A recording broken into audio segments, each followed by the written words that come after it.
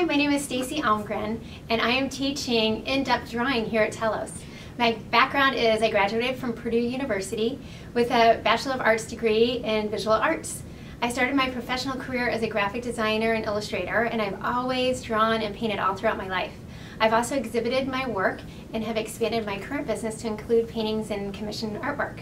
In the in-depth drawing class, you will, we will kind of be diving in more to our um, pieces. So instead of studying a topic each week, we will be studying a topic for a few weeks. So example, something like this for portraits, we're really going to be diving in and looking at foreground, middle ground, and background, and shading, and how to create depth in your piece.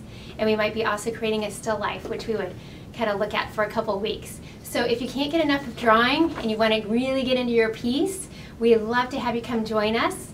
And again, each class I will do a quick demonstration and give you instruction for what we'll be creating for that week. All levels are welcome. We love having just a fun, relaxed environment. So if you can't get enough of drawing and just want some more, then come on and join us. Thanks. Hope to see you there.